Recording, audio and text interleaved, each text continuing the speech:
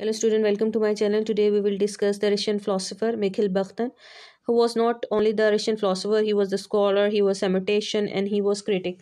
And he did the influential work on the literary theory criticism के हवाले से language के हवाले से स्टार्ट में इन्हें फॉर्मल स्कूल ऑफ़ थॉट में रखा गया और बाद में इनकी डेथ के बाद इनको पोस्ट स्ट्रक्चरलिस्ट कंसिडर किया गया इनको वो प्लेस दी गई इनकी जो पॉपुलैरिटी की जो बेसिक वजह थी उनकी थेरी ऑफ़ नावल थी जिसमें उन्होंने यूनिक आइडियाज़ इंट्रोड्यूस करवाए जिन्होंने हेल्प आउट किया कि अंडरस्टैंड करें कि हम किसी भी नॉल नावल को लेकर उसके अंदर जिस तरह सेटिंग होती है प्लॉट्स होते हैं करेक्टर्स होते हैं, किस तरीके से ऑथर जो है मुख्तलिफ़ करेक्टर्स की वॉइस अपीयर करता है और किस तरीके से एक डायलॉग और लैंग्वेज का इस्तेमाल करता है। ये डिफरेंट आइडियाज़ हैं जो मिखिल बख्तर ने इंट्रोड्यूस करवाए। इसके बाद जो सबसे ज़्यादा इंपॉर्टेंट चीज़ है वो है क्रिटिक है ऑन द नावल के हवाले से। माइकल होलक्वेस्ट कहते हैं कि जो नावल है is a quite different as compare to the other genres like ode है लिरिकल पोइट्री है, या एपिक है। अब फॉर एग्ज़ाम्पल बख्तन ही कहते हैं कि जो नावल है एज अ सुपर योनरा है, क्योंकि इसने तमाम जो पिछले कन्वेंशनल और ट्रेडिशनल किस्म की जम्शन थी अबाउट द फॉर्म उसको ब्रेकआउट किया, ठीक है। अब एपिक में क्या होता था? एक प्रोटेगनिस्ट होता था जो नाइट हो सकता किंग हो सकता था फ्लावरी लैंग्वेज बुम्बास्टिक लैंग्वेज का इस्तेमाल किया जाता था। एक लॉन्ग लास्टिक जो कहते हैं ना ट्रेजिडी क्रिएट की जा रही होती थी। लेकिन यहाँ पे जो है novel is quite different as compare to the epic और जो इसमें यहाँ पे ये रेलिवेंट जो नावल होता है वो relevant to the common person होता है बख्तन के नज़दीक। जो रिफ्लेक्ट करता है आपके प्रेजेंट को ये सिर्फ़ और सिर्फ़ आपको इंशियन टाइम के साथ कनेक्ट नहीं करता बल्कि आपकी कनेक्टिविटी को आपके प्रेजेंट के साथ को रिलेट करता है जोड़ देता है इंटरलिंक्ड कर देता है। सो so, कैसे मुख्तलिफ़ और इसके साथ साथ मुख्तलिफ़ करेक्टर्स हैं उनकी वॉइस के थ्रू और बख्तर ने आगे किया कि novel is the only developing genre ऐसा है जिसमें कंटिन्यूसली चेंज हो रहा होता है। ठीक है? इसमें उन्होंने जो डिस्कस किया वो था प्रॉब्लम्स ऑफ़ दोस्तावस्की पोइटिक ये उनकी बुक है, उसमें उन्होंने डिस्कस किया कि novel is the only genre nineteen seventy five में। फिर उन्होंने कहा in other to accommodate the consciousness of other कि she does not turn other the consciousness consciousness के मतलब जो करेक्टर्स हैं नावल्स के अंदर मुख्तलिफ़ जो अपने आप को डिपिक्ट कर रहे हैं कि but instead recreate them in their authentic way अब इसमें क्या करते हैं कि जो अगर नॉर्मली क्या होता है कि जो पहले जो नॉवेल्स लिखे जा रहे होते थे, उसमें ऑथर ही अपने पॉइंट ऑफ़ व्यू को डिस्कस कर रहा था। वो जो कहना चाह रहा था, अपने करेक्टर्स के थ्रू कहलवाता था। लेकिन वो कहते हैं, बख्तन के नज़दीक के अब जो उनके नज़दीक नावल का जो कंसेप्ट है, उसमें वो जो करेक्टर होता है, उसमें डिफरेंट वॉइस होती हैं। और नावल का मकसद होता है कि सिर्फ़ आपने ऑथर ही का पॉइंट ऑफ़ व्यू डिस्कस नहीं करना होता। करेक्टर्स के अपने अपने मुख्तलिफ़ जो करेक्टर्स हैं, उनके पॉइंट ऑफ़ व्यू को भी डिस्कस करना होता है। और समटाइम अब दूसरे करेक्टर्स को भी कॉन्शियसनेस के थ्रू डिस्कस करते हैं। जैसे स्ट्रीम ऑफ़ कॉन्शियसनेस की जो है एग्जांपल है टू द लाइट हाउस है इसमें मिस्टर राम से मिसेस राम से जेम्स राम से तो जब जेम राम से का ज़िक्र आता है तो वो when he was discussing about himself वो जब अपने माइंड के अंदर अपने फादर को डिस्कस कर रहा होता है कि ten thousand time better than his mother तो उस वक्त अपने बारे में भी वो सोच रहा था, अपने करेक्टर को भी डिपिक्ट कर रहा होता है। और साथ साथ अपने फादर मिस्टर रामसे के भी, और उसके साथ साथ अपनी मदर की भी। सो इसी तरीके से आप आप देख लें कि जो मुख्तलिफ़ करेक्टर हैं, इसी तरह वर्जीनिया वुल्फ का एक और नावल है मिसिस जोलावे वो उसमें भी ऐसे ही होता है कि क्लेरिसा जोलावे जो होती है, सिर्फ़ अपने ही जो है अपनी करेक्टर को सिर्फ़ डिपिक्ट नहीं करवा रही होती अपनी कॉन्शियसनेस को पियर नहीं कर रही होती अपने साथ जो दूसरे करेक्टर्स हैं उनको भी पोर्ट्रे कर रही होती है। उनके बारे में भी हमें इंफॉर्मेशन दे रही होती है उसका एनालिसिस करवा रही होती है। जस्ट लाइक like, जैसे पीटर वालिश उसका एक्स बॉयफ्रेंड होता है उसके हवाले से। सो so, और मुख्तलिफ़ लोगों की जब वो she was standing in the window और वो बाहर से स्ट्रीट में देख रही होती है तो अपनी ज़िंदगी को कंपेयर कर रही होती है आम लोगों की एक बूढ़ी औरत की ज़िंदगी के साथ। तो ये मुख्तलिफ़ चीज़ें हैं जिसका आपको जो है अंदाज़ा हो गया होगा कि novel is is quite different as compare to epic ode और लिरिकल पोइट्री जबकि जो लिरिकल पोइट्री देख लें, आप रोमांटिक पोइट स्पेशली देख लें, क्योंकि उनकी जो नेरेटिव टेक्निक क्या होती है, वो सब्जेक्टिविटी को ज़्यादा फोकस करते थे. अपनी पर्सनल फीलिंग इमोशन को पूरा फोकस ऑथर के पोइट के स्पीकर की जो एक्सपीरियंसेस या उसकी चीज़ों पर होता था instead of exploring the characters so basic जो है, मिकिल बख्तन कहता है कि हमारा मकसद नावल का ये होता है कि आपने एक्सप्लोर करना होता है करेक्टर्स को डिफरेंट वॉइस को लैंग्वेज के थ्रू और डायलॉग के थ्रू इसी तरीके से वो कहते हैं, उनके मेजर आइडियाज़ डिस्कस किए, इसमें डायलॉजिज्म के हवाले से, करने वाले टेक्निक के हवाले से फोली फैनी की क्रोनोटाइप के हेट्रोग्लोसिया के हवाले से. अब हम यहाँ पे मखिल बख्तन के हवाले से देखें तो मखिल बख्तन ने क्या what is meant by novel वो कहते हैं कि जो नावल होता है बेसिकली ये डायलॉजिक लिटरेचर की एक फॉर्म होती है जिसके अंदर डायलॉजिक लिटरेचर ये प्रोज फिक्शनल फॉर्म होती है, जिसके अंदर करेक्टर डिफरेंट करेक्टर्स अपनी कॉन्शियसनेस को बियर कर रहे होते हैं instead of focus focusing on just one person author के पॉइंट ऑफ़ व्यू को only is as compare to the poetry जो है it is the monologic literature type of literature in which जहाँ सिर्फ़ और सिर्फ़ स्पीकर या पोइट के पॉइंट ऑफ़ व्यू को डिस्कस किया जाता है।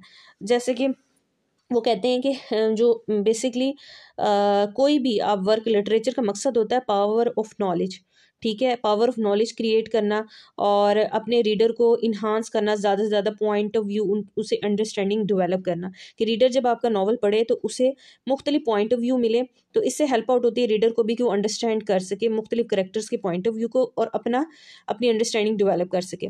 अब यहाँ पे हम यहाँ डिस्कस करेंगे मुख्तलिफ़ जो एलिमेंट्स हैं, कि उसके नज़दीक what is meant by the language एक तो आपको मैंने बता दिया कि डिफरेंस क्या है? डायलोजिज्म और मोनोलॉजिज्म दूसरी है what is meant by novel what is meant by novel language novel की लैंग्वेज क्या होती है? वो कहता है कि लैंग्वेज ऐसा नहीं होता कि आप एक ऐसा सिस्टम है जिसमें आप एब्स्ट्रिक ग्रामेटिकल कैटेगरीज में डिवाइड करें। फॉर एग्जांपल आप लैंग्वेज लिंग्विस्टिक क्या करते हैं कैटेगरीज में?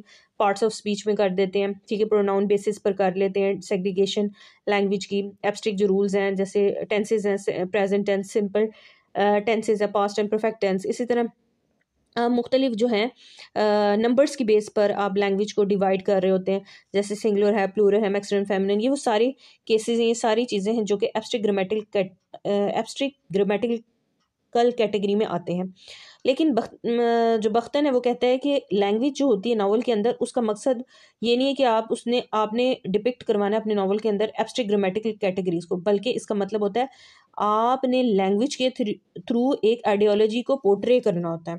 लैंग्वेज क्या होती है basically language is the reflection of the class होती है आपके बैकग्राउंड होते हैं आपकी जो इन्फॉर्मेशन होती है जो आप पीछे से आपकी एथनेसिटी है, आपके जेंडर हैं, इस सबको डिपिक्ट करवा रही होती है। तो सो बेसिक आपकी वैल्यूज़ को, आपके रिचुअल्स को लैंग्वेज के अंदर एक ख़ास मतलब एक हिस्ट्री और कॉन्टेक्स्ट होता है।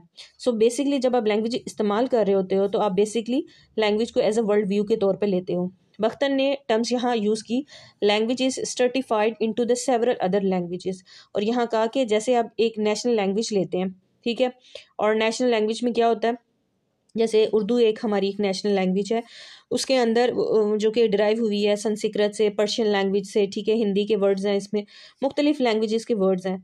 तो बेसिकली ये ये भी डिपिक्ट कर रही है कि लैंग्वेज हम उर्दू जो लैंग्वेज है सोशल डायलैक्ट्स को भी रिप्रजेंट कर रही है, ठीक है? और ये किस इलाके से, किस रीजन से बिलोंग करती है? और इसके अलावा समटाइम ऐसा भी होता है कि लैंग्वेज होती है डिपिक्ट करती है हास प्रोफेशन को यॉर्गन्स होते हैं, जैसे कि डॉक्टर्स हैं ठीक है इंजीनियर्स हैं डॉक्टर्स बीपी जो है ब्लड प्रेशर के लिए एक टर्म यूज़ करते हैं। इसी तरह जो आर्मी पर्सनल्स हैं वो अल्फ़ा ब्रोवो चार्ली इस किस्म की टर्म्स का इस्तेमाल करते हैं। तो ये कहता है कि लैंग्वेज बेसिकली आप उसको सिर्फ़ ऐसे नहीं ले सकते कि लैंग्वेज एक एब्स्ट्रिक ग्रामेटिकल कैटेगरी है बल्कि ये एक पूरी आइडियोलॉजी को डिपिक्ट करती है लोगों की। लोगों की ह्यूमन बींग्स के लाइफ स्टाइल को डिपिक्ट कर रही होती है उनकी सोशल रिलेशनशिप को डिपिक्ट कर रही होती है। सो so, आपकी जो लैंग्वेज लैंग्वेज जो नावल की लैंग्वेज है, वो बेसिकली आपको वर्ल्ड व्यू दे रही होती है। क्योंकि बहुत सी ऐसी लैंग्वेज लैंग्वेज में मुख्तलिफ़ जो आती हैं अथॉरिटीज़ की लैंग्वेज भी आ जाती हैं, ठीक है? इसके अलावा various circles of generic languages भी आ जाती हैं। क्योंकि लैंग्वेज के अंदर इतनी वैरायटी है कि इसमें डिवर्सिटी इतनी ज़्यादा होती है कि बहुत से जिसमें आपके फ़िलासफ़र भी इन्वॉल्व हो जाते हैं, आपके लिंग्विस्ट भी इन्वॉल्व हो जाते हैं साइकोलॉजिस्ट भी इन्वॉल्व हो जाते हैं और मकसद क्या होता है? लैंग्वेज जो है एक ख़ास तरीके से कन्वे की जाए। सेंटेंस इस्तेमाल कर रहा है तो कोई बंदा जो मेल है वो कैसे यूज़ कर रहा है हमारी सोसाइटी के अंदर? फीमेल कैसे या यूज़ कर रहा है? एवरीथिंग जिसके कोई मीनिंग हो, जिसकी कोई सिग्निफिकेंस हो, हम अपने नावल के अंदर इस्तेमाल करते हैं। अब ये तो मैंने आपको बता दिया इसके हवाले से कि लैंग्वेज होती क्या है। एक बात हमेशा याद रखें कि लैंग्वेज तो आपको अंदाज़ा हो गया कि ये क्या किन किन एलिमेंट्स पे होती है। क्योंकि जो लैंग्वेज होती है, हर लैंग्वेज जैसे हिंदी लैंग्वेज है, उर्दू लैंग्वेज है टर्किश लैंग्वेज है पर्शियन लैंग्वेज है तो हर एक लैंग्वेज की अपनी वोकेबलरी भी होती है, उसके अपने स्लोगन्स भी होते हैं और और इम्फिसाइज भी होती हैं। इसलिए बख्तन कहता है it is heteroglossia which is necessary part of the novel as a genre अब उसमें मुख्तलिफ़ जो टर्म्स थी उसने हेट्रोग्लोसिया को पोलीफेनी को और डायलोजिज्म जैसे फीचर्स थे वो डिस्कस किए कि किस तरीके से हम इन तीन हेट्रोग्लोसिया को पोलीफेनी को और डायलोजिज्म को हम किस तरीके से कारने वैलिस टेक्निक फ्यूचर से हम आ, जो है गेट करते हैं नावल के अंदर कि इन सब ये सब कैटेगरीज हैं किसकी? कार्ना वैलिस टेक्निक हेट्रोग्लोसिया भी इसी के अंदर आ जाती है पोलिफेनी और डायलोजिज्म ये सारे मिलके एक सब चीज़ें कम्बिनेशन बनाकर इंपॉर्टेंट फीचर्स हैं जो कि जो कि नावल को क्रिएट करते हैं, उसे हेल्प आउट कर रहे होते हैं। और उसने कहा कि ये जो जितने भी आइडियाज़ हैं they are connected by dialogues ये जो हेट्रोग्लोसिया है पोलीफेनी है, डायलोजिज्म है, इस सारी के सारे सारे आपस में डायलॉग्स के थ्रू कनेक्टेड है। यहाँ वो कहता है कि वट इज़ डायलोजिज्म क्या चीज़ होती है और इसके मेजर एलिमेंट्स क्या है। अब डायलोजिज्म जो है सबसे पहले मैं आपको बताना चाहूँगी कि ये रशियन फ़िलासफ़र मेखिल बख्तन ही था जिसने ये टर्म इंट्रोड्यूस करवाई थी जो कि डायलॉजिज़म की टर्म थी। और उसने कहा था कि जो अपनी जो वर्क था, जो dialogue the dialogic imagination nineteen seventy five उसमें उसने एक्सप्लेन किया था on the basis of narrative theory के, कि डायलॉजिक जो होती है refer to the inherent purity of perception लिटरे literature के अंदर अगर बात करते हैं तो डायलॉजिज्म का मतलब है प्योरिटी ऑफ़ ऑफ़ परसेप्शन मुख्तलिफ़ डिवर्सिटी किस चीज़ की परसेप्शन आपके एक्सपीरियंस की भी हो सकती है, आपके नॉलेज की भी हो सकती है, और वो सारे ये सारे हैं, वो डायलॉग्स की सूरत में लैंग्वेज की सूरत में आपके नॉवल्स के अंदर मौजूद होते हैं। बेसिकली मिखिल बख्तन ही ऐसा बंदा था जिसने जब लिटरेचर के अंदर एक नावल के अंदर एक, इस जॉनरा के अंदर एक शिफ्ट की from linguistic approach to the literature और आप कह सकते हैं इसने मूव ऑन किया फ्रॉम द रशियन फॉर्मलिस्ट से। और इसके अलावा इसने मुख्तलिफ़ जो है राइटर्स उनके जो है एग्ज़ाम्पल दी, जैसे कि उसने दो इंपॉर्टेंट जो राइटर्स थे, उनकी एग्ज़ाम्पल दी थी जिसमें लियो टॉल्स्ट्रॉय था और फॉर्डर दोस्तविस्की था, ये दोनों बहुत इंपॉर्टेंट हैं। जो लियो टॉल्स्ट्रॉय था ही was familiar for the for the आप कहते हैं ऑथर नरेटिव टेक्निक के हवाले से, ठीक है? जिसमें उनका जो फ़ेमस वर्क है वॉर एंड द पीस है एंड और इसी तरीके फॉर्डर दोस्तविसी की जो है फॉर्डर जो था he was famous for his novels like Idiot के हवाले से डीमंस के हवाले से the Crime and the Punishment के हवाले से, ये वो सारे नॉवेल्स थे, जो कि मल्टीपल कॉन्शियसनेस के हवाले से करेक्टर्स के थ्रू उसने टेक्निक जनरेट की है, अपनी पूरी सेटिंग के अंदर, अपने प्लॉट्स के अंदर। फॉर्डर दोस्तविस्की इसी तरीके से आगे वो डिस्कस करता है कि कौन से मेजर एलिमेंट्स हैं। वो कहता है डायलोजिज्म में इंपॉर्टेंट बात याद रखें कि जब डायलोजिज्म होता है नावल के अंदर तो दो इंपॉर्टेंट चीज़ें होती है, एक स्पीकर होता है, एक लिसनर होता है, और उनके दरमियान रिलेशनशिप देखा जा रहा होता है। और यही रिलेशनशिप की बेस पर डिस्कोर्स होता है पोलिटिकल डिस्कोर्स भी हो सकता है और रिलीजियस भी डिस्कोर्स हो सकता है। और इसी तरह उसने जो मुख्तलिफ़ कॉन्सेप्ट इंट्रोड्यूस करवाए, उनमें जो है डायलॉग्स के हवाले से वो कहता है कि जो डायलॉग्स होते हैं बहुत इंपॉर्टेंट चीज़ होती है किसी भी आ, किसी भी लिटरेचर के अंदर। किसी भी लिटरेचर के अंदर डायलॉग्स इसलिए इंपॉर्टेंट होते हैं डायलॉग्स के ही थ्रू आप टाइम और स्पेस का जो कम्बिनेशन करते हैं। और फिर अपने आइडियाज़ को आप करेक्ट भी कर सकते हैं इन्हांस भी कर सकते हैं और री भी कर सकते हैं और चैलेंज भी कर सकते हैं। कहता है कि जो बख्तन के नज़दीक कहते हैं कि आप जब लिख रहे होते हो किसी नावल को या टेक्स्ट को लिख रहे होते हैं वो लाइंस जो होती हैं वो टेक्स्ट जो होती हैं वो बेसिकली अटरेंस होती है। मतलब कि वो वॉइस होती हैं वो डायलॉग्स होते हैं ठीक है? और वो उनको जब आप क्रिएट कर रहे होते हो उन अटरेंस को तो बेसिकली uh, आप क्या कर रहे होते हैं इन डायलॉग्स के थ्रू आप जो रीडर है उसकी अंडरस्टैंडिंग को इन्हांस कर रहे होते हो। इसी तरीके से वो कहते हैं जब आप डायलॉग कर रहे होते हो डायलॉग की इतनी अहमियत ज़्यादा होती है किसी भी नावल की लैंग्वेज के अंदर कि आप जब डायलॉग कर रहे होते हो तो उससे क्या होता है कि जो पास्ट में डायलॉग होता है उसे उसकी मदद से आप प्रेजेंट को इम्प्रूव कर रहे होते हो। और उसने कहा कि, कि जो past dialogues guide the present and present improve the past the way Eliot call it traditional and individual talent इसी को उसने रेफरेंस दिया कि एलियट का अगर आप देखें तो एलियट इसी तरह ही की बात करता है। एलियट क्या कहता है? एक ट्रेडिशनल और इंडिविजुअल टैलेंट के हवाले से वो कहता है कि जो पुराने एंशियंट राइटर्स थे, उन्होंने क्या कर दिया आर्ट को जो है आर्टिस्ट से अलहदा कर दिया सेपरेट वो इमिटेशन नहीं करते थे, वो फोकस करते थे अंडरस्टैंडिंग और इंटेलेक्चुअल अंडरस्टैंडिंग पर फोकस उनका होता था। इसी तरीके से डायलॉजिज्म जो है it's a way of communication between the between the work of literature and the other author इसी तरह, जैसे कि मैंने इन दोनों की आपको एग्जांपल दिया है फॉर्डर की भी और लियो टॉल की भी। ये सारे उनके फ़ेमस नॉवेल्स हैं, जिसमें उन्होंने मोनोलॉजिक और डायलॉजिक जो है, दोनों टेक्निक्स का इस्तेमाल किया है। अगर हम मूव करते जाएँ डिफरेंट चीज़ों के हवाले से और मुख्तलिफ़ एलिमेंट्स को डिस्कस करें, जैसे कि मैंने अभी डायलॉजिज्म को डिस्कस किया है। अब मैं यहाँ पे थोड़ा सा डिस्कस करना चाहूँगी काना वेलिस टेक्निक के हवाले से। बेसिकली जो कार्ना वेल्स टेक्निक थी वो बख्तन ने अपनी जो वर्क है रेबेलिस में एंड हिज वर्ल्ड में से कोइन किया था एक वर्ड जिस तरह कार्ने वेल्स बेसिकली एक फेस्टिविटी होती है, दुनिया के मुख्तलिफ़ रीजन्स के अंदर, मुख्तलिफ़ कंट्रीज़ के अंदर, जैसे ब्राज़ील है, या क्रिसमस इवनिंग आ रही होती है तो लोग क्या कर रहे होते हैं कि इस इवेंट के अंदर मुख्तलिफ़ तरीक़ों से ड्रेसअप होते हैं स्ट्रीट में निकल आते हैं और जुबलेशन का सा समा होता है। अब यहाँ पे ऐसा होता है कि इनमें जो ड्रेस होते हैं, अगर किंग है तो वो क्लाउन की ड्रेसिंग कर लेता है क्लाउन जो है किंग की ड्रेसिंग कर लेता है। तो ये जो फेस्टिवल होता है it's a concept of equality और फ्रीडम का कॉन्सेप्ट होता है। ठीक है? और एक इंपॉर्टेंट चीज़ मैं आपको ये बताऊँगी कि जो कार्नावेल्स टेक्निक जो है, अगर इसको ट्रेस बैक करें तो ये चली जाती है क्लासिकल टाइम में या मेडिवल टाइम ऑफ़ इंग्लैंड में या फिर आप रेनिसंस जो कल्चर है उस हवाले से। अब इसमें ये होता है कि जैसे कि एक कोई भी ट्रेडिशन या वैल्यूज़ को हम कर रहे होते हैं, जिसमें मुख्तलिफ़ करेक्टर्स जो होते हैं स्ट्रीट के अंदर, जो कि कैथोलिक ईद है, का कार्नावेल्स जो एक टेक्निक जो उसने नावल के अंदर इंट्रोड्यूस करवाई है बेसिकली उसका कॉन्सेप्ट सारा का सारा। कार्निवल जो है इवेंट से उसने लिया।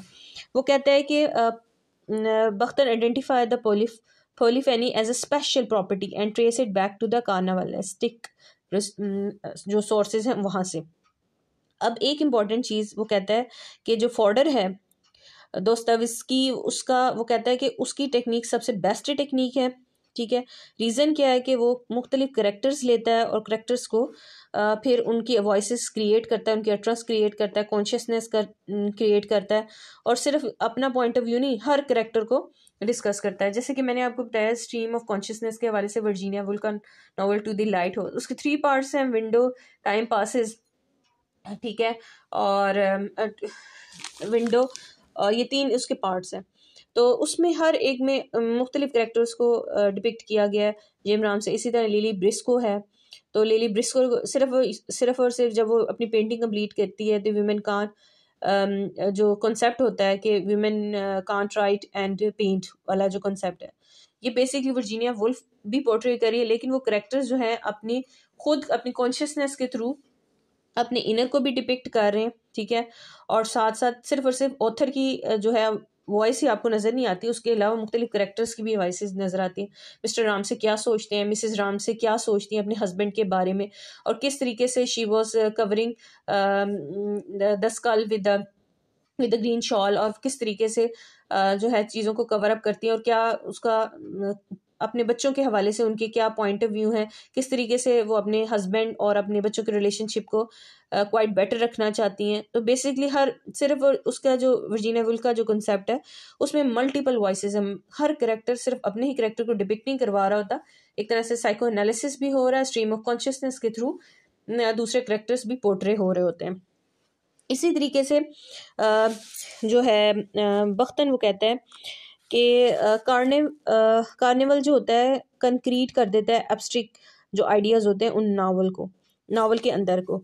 जि, जिसमें ऐसे कैसे कैसे करता है वो अपस्टिक को कंक्रीट में कन्वर्ट करता है कि मुख्तलिफ़ जो डाइवर्सिटी ऑफ़ स्पीचेस होती हैं और वॉइस के थ्रू एक ऐसा स्ट्रक्चर ऐसा प्लॉट ऐसी सेटिंग क्रिएट कर देता है कि everything is looking like that कि हर बंदे का पॉइंट ऑफ़ व्यू क्लियर हो जाता है। अब carnivals as a contrasting technique के तौर पे ये भी कहा जाता है कि अब इसमें ना इंपॉर्टेंट जो कुछ कॉन्सेप्ट हैं जो आपको अंडरस्टैंड करने की ज़रूरत है। उसमें जो सबसे इंपॉर्टेंट है कि इसने जो फ्यूचर दिए, उसमें से एक रिहर्सल ऑफ़ हरार की। अब कार्ना वेलिस की की जो पूरी पीछे से बैकग्राउंड क्या है, हमने क्या करना है? हमने हर चीज़ को उल्टा कर देना किंग ने ड्रेस किया क्लाउन का और क्लाउन ने ड्रेस किया किंग का। तो एक तरह से हरारकी जो है वो डिस्टर्ब हुई है। तो जो काना वेल्स टेक्निक जो होती है नावल के अंदर, हम इस तरीके से हम क्रिएट करते हैं कि कोई भी चीज़ जो है, उसका कम्बिनेशन इन्वर्स कर देते हैं और उसको लेके चल रहे होते हैं। Same like reversal of hierarchy आप कह सकते हैं lightness and the darkness perfection and imperfection ले, लेते हैं। ये वो ऐसे आइडियाज़ हैं जो कि हेल्प आउट करते हैं ब्यूटी क्रिएट करते हैं नावल की। ठीक है? जिससे आप के जो नावल होते हैं, उसके अंदर सेमनेस क्रिएट नहीं होती। जैसे कि जो पोइट्री होती है, उसमें सेमनेस और यूनिफॉर्मिटी होती है। लेकिन इसमें ऐसा कुछ नहीं होता। एक इंपॉर्टेंट चीज़ जो मैं बताना चाहूँगी आपको यहाँ पे, कि जो दूसरा कॉन्सेप्ट है वो है इसेंट्रिक बिहेवियर एक्सेंट्रिक बिहेवियर होता है एक्सेंट्रिक बिहेवियर में दो ऐसी चीज़ों को लेते हैं, जो ऑपोजिट ये कारना वैलस टेक्निक के हवाले से। एक जो टेक्निक है, जैसे फॉर एग्जांपल एक आप ह्यूमर ले रहे हो तो साथ आप क्योस ले दोनों चीज़ों को कंबाइन कर रहे होते हो ऑपोजिट चीज़ें ले रहे होते हो। इसी तरह आपने जो कार्ना वेल्स टेक्निक होती है, उसमें non linear pattern of narration का इस्तेमाल करना होता है। नाउन लीनियर मतलब जैसे कि नाउन लीनियर पैटर्न जो थे जो ट्वेंटी सेंचुरी के जो राइटर्स थे, जैसे कि विलियम गोल्डिंग था, वो इस्तेमाल करते थे सैमल बकेट वगैरह इस्तेमाल करते थे पोस्ट मॉडर्न राइटर्स थे सेम जो नाउन लीने पैटर्न पर जब नरेटिव टेक्निक इस्तेमाल करते थे अपने नॉवेल्स के अंदर। तो सेम जो है, यहाँ पे कारना पैलेस टेक्निक जो है, हमने डिस्कस की। अब यहाँ पे एक, अगर हम थोड़ा सा मज़ीद इन मज़ीद इन कॉन्सेप्ट को हवाले से मज़ीद आगे जाएँ तो हम यहाँ पे पॉलीफेनी को देखेंगे।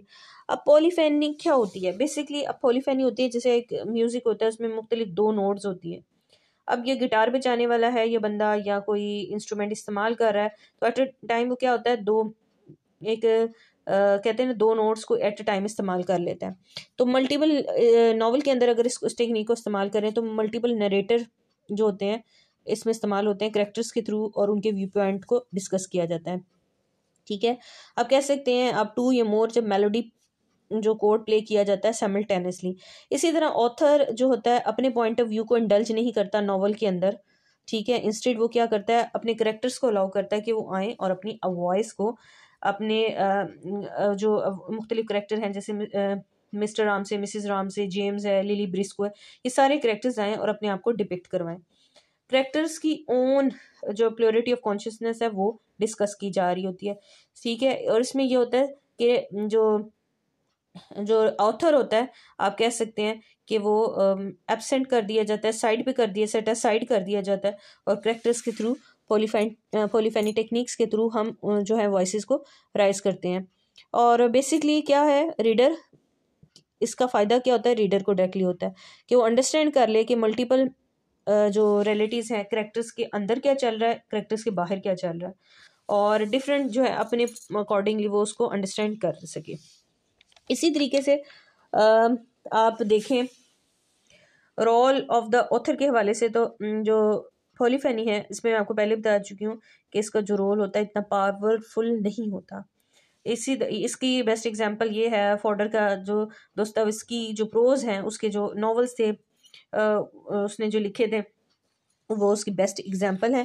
जिसमें फॉर्डर के नॉवेल्स में आपको मैं पहले भी बता चुकी हूँ नावल में आ जाते हैं the Crime and the Punishment और द इडियट डीमंस वगैरह। अब इसके अलावा जो हमने दूसरा कॉन्सेप्ट करना है वो है हमने आ, अब हम करेंगे हेट्रोग्लोसिया हेट्रोग्लोसिया को अगर देखें जैसे कि नाम से हमें पता चल रहा है हेट्रो का मतलब होता है कोई भी चीज़ मल्टीपल कोई चीज़ होना। हेट्रोग्लोसिया एक ऐसी लैंग्वेज को कहा जाता है ऐसी लैंग्वेज जि जिसको आप कह सकते हैं सिंगल लैंग्वेज को मल्टीपल स्पीच से अदा करना।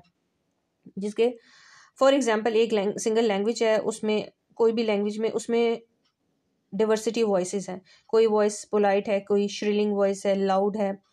ये सारी जो है सिंगल लैंग्वेज में आती है। इसी तरह कुछ लोग होते हैं, उनका जो स्टाइल ऑफ़ एक्सप्रेशन जो होता है, बड़ा हार्श होता है, बहुत पोलाइट होता है बाज़ लोगों का।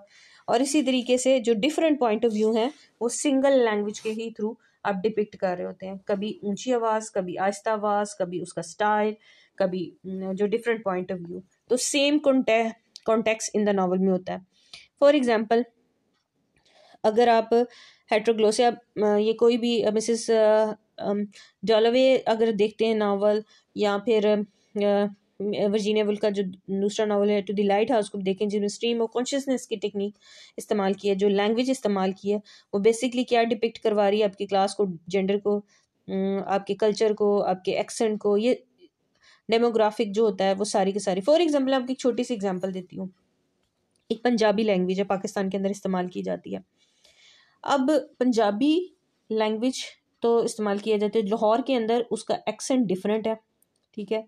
उकाड़ा के अंदर बोली तो उकाड़े में भी पंजाबी जाती है, फैसलाबाद में भी जाती है, लेकिन एक्सेंट का डिफरेंस आ जाता है स्टाइल का डिफरेंस आ जाता है। तो ये पंजाबी के मुख्तलिफ़ लहजे, उनके स्टाइल और उनकी जो वॉइस होती हैं ना, वो डिफरेंट पॉइंट ऑफ़ व्यू भी क्रिएट कर रही होती हैं। तो हेट्रोग्लोसिया का ये होता है कि नावल में इस तरीके से आप इफ़ेक्ट कर रहा होता है वर्कआउट कर रहा होता है। कि अपने मीनिंग को कन्वे करना और अपनी वैल्यूज़ को। क्योंकि कोई भी जो लैंग्वेज होती है बेसिकली सिर्फ़ और सिर्फ़ मीनिंग ही कन्वे नहीं कर रहे होते, अपने पीछे जो उसकी हिस्ट्री होती है बैकग्राउंड होता है, वो सारी इन्फॉर्मेशन को पोर्ट्रे करती है। इसी तरीके से अगर हम नावल के अंदर उसकी एप्लीकेशन के हवाले से देखें तो जो नावल्स होता है, उसके अंदर उसका स्टाइल उसकी वॉइस और उसके जो आर्टिस्टिक स्टाइल को हम कह सकते हैं तीन ऐसे कैटेगरीज हैं जिसकी बेस पर हम हेट्रोग्लोसिया जो है लैंग्वेज को डिफ्रेंशिएट करते हैं। एक ही सिंगल लैंग्वेज को मल्टीपल जो स्पीचेस हैं उसके थ्रू इसी तरह जैसे कि एक स्पीकर होता है, वो एक सोशल पर्सन है और इसी तरह जो लैंग्वेज होती है, वो रियल जो होती है बैकग्राउंड होती है, वो रिफ्लेक्ट कर रही है, आपका ताल्लुक इस बैकग्राउंड से आपकी फैमिली क्या है और क्या अफेक्ट डालती है आपकी। जो है आपकी लैंग्वेज पर। यही वजह है कि पंजाबी में जो गाँव में विलेज एरियाज़ में रहने वाले लोग होते हैं, उनका ज़रा एक्सेंट क्वाइट डिफरेंट होता है as compare to the city जो अर्बन एरियाज़ में रहते हैं। तो ये डिफरेंस आते हैं। कहता है फिर वो जो करेक्ट जो होता है ऑथर होता है, वो बेसिकली करेक्टर्स को ऐसे यूज़ करता है नरेट करता है डिफरेंट स्टाइल के अंदर थ्रू द स्पीचेस के थ्रू डिवर्सिटी ऑफ़ वॉइस के थ्रू ठीक है? जैसे कि मिसिस डोलोवे थी कभी वो पीटर वैलिश के पॉइंट ऑफ़ व्यू को डिस्कस कर रही हैं कभी वो एलिजबeth जो था डोलोवे के हवाले से। तो आप ये सारी चीज़ें हैं जो कि हेट्रोग्लोसिया के अंडर आती हैं। सो so, ये कॉन्सेप्ट था अब हमारा क्रोनोटाइप रह गया। क्रोनोटाइप के हवाले से अगर हम देखें तो chronotype in very simple way के दो चीज़ों का कम्बिनेशन होता है क्रोनोटाइप एक टाइम और स्पेस का। आपने अक्सर इवेंजर मूवी वगैरह में देखा होगा कि अक्सर ये होता है कि टाइम और स्पेस के कम्बिनेशन क्रिएट करते हैं सेटिंग के अंदर प्लॉट के अंदर नरेशन के अंदर, और एक स्पेसिफिक आइडियोलॉजी को पोर्ट्रे कर रहे होते हैं। दरअसल जो बख्तन था वो कहता था कि जो क्रोनोटाइप होते हैं, ये एक स्पेसिफिक आइडिया होता है, और जो डिफरेंट जो एस्पेक्ट्स होते हैं नावल के अंदर, उसे आपस में कनेक्ट करता है। जो साइंस फिक्शन हम बहुत सी मूवीज़ देख रहे होते हैं। इसी तरीके से जैसे मैजिक रियलिज़म के हवाले से भी बहुत से कॉन्सेप्ट होते हैं। लेकिन ज़्यादा अगर आप उसको ज़्यादा बेटर है कि इवेंजर मूवी को देख लें तो इसमें ज़्यादा क्लियर हो जाता है। कि किस तरीके से आप जो अपने बड़ा जो राइटर जो लिखारी होता है, किस तरीके से अपने आर्टिस्टिक वे को शो करता है। इन्फॉर्म करता है अपने प्लाट के बारे में नरेशन के बारे में, और जो क्रोनोटाइप होता है ना सेंटर होता है, इसी के थ्रू वो अपने बेसिक और स्पेसिफिक आइडिया होता है, उसको लेके चलता है। बख्तन कहते हैं ये कोगनेटिव कॉन्सेप्ट होता है, ठीक है? और और ये आप, कह सकते हैं कि it's quite different from the epic chronotope जो नावल के अंदर क्रोनोटाइप इस्तेमाल की जाती है, वो एपिक जो क्रोनोटाइप उससे क्वाइट डिफरेंट है, ठीक है? आप जो, क्योंकि हर योनरा के लिए क्रोनोटाइप डिफरेंट टाइप के इस्तेमाल होते हैं। एपिक के लिए डिफरेंट होते हैं, इसी तरह नावल के लिए भी डिफरेंट योन जो है, वो इस्तेमाल क्रोनोटाइप इस्तेमाल करते हैं। सिंपल वर्ड्स में अब ये chronotope is the is the time and space combination that represent in the language this is all about my lecture I hope you understand ये कुछ मेजर कॉन्सेप्ट है जो हमने डिस्कस किए। इसके अलावा जो मुख्तलिफ़ लैंग्वेज के हवाले से हमने चीज़ें डिस्कस की थी वन बाय वन एलिमेंट्स को मोनोलॉजिज्म को डायलॉजिज्म को, और वॉइसेस इन नावल में क्या मैटर करती हैं, मखिल बख्तन का क्या पॉइंट ऑफ़ व्यू है काना वेल्स टेक्निक के हवाले से, क्या इसकी इंपॉर्टेंस है, इसको ड्राइव किया पॉलीफेनी क्या चीज़ है क्रोनोटाइप क्या टाइम और स्पेस कम्बिनेशन इन सेटिंग इसी तरीके से हेट्रोग्लोसिया क्या चीज़ है, किस तरीके से एक जो लैंग्वेज है, उसे डिवर्सिटी वॉइस स्टाइल और एक्सप्रेशन से कैसे एक्सप्लेन किया जाता है लैंग्वेज के अंदर और नावल के अंदर कैसे ब्यूटी क्रिएट की जाती है। और इसी तरीके से ये वो सारे कॉन्सेप्ट थे जो हमने आज डिस्कस किए। Thank you very much I hope you understand in case of any question you can tell me